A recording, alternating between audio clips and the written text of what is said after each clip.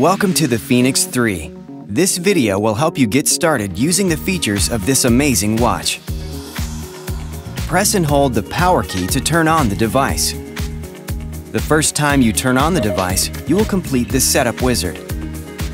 Select Light to turn the backlight on and off.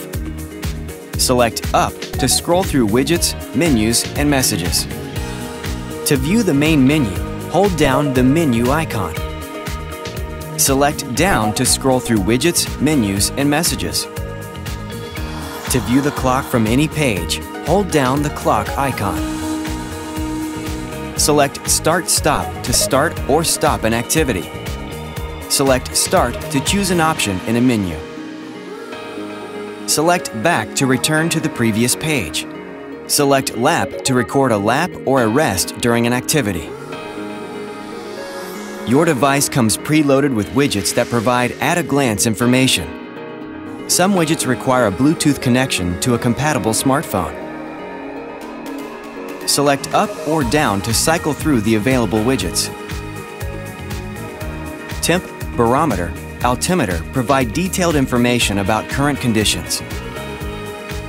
Ant Plus sensor information displays information from a connected Ant Plus sensor, such as a heart rate monitor. Compass displays an electronic compass. Activity tracking tracks your daily step count, step goal, distance traveled, calories burned, and sleep statistics. Notifications alert you to incoming calls and text according to your smartphone notification settings. Calendar displays upcoming meetings from your smartphone calendar.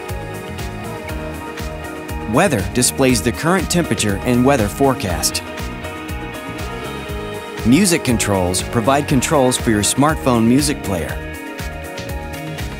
VIRB Remote allows you to control a Garmin VIRB action camera using your fenix 3 device. To learn more features of the fenix 3, please watch the other videos in this series.